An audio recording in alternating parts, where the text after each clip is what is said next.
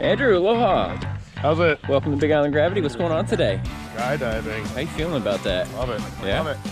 Yes. Ready to go have some fun? Oh, fuck yeah. Let's do this. Do it.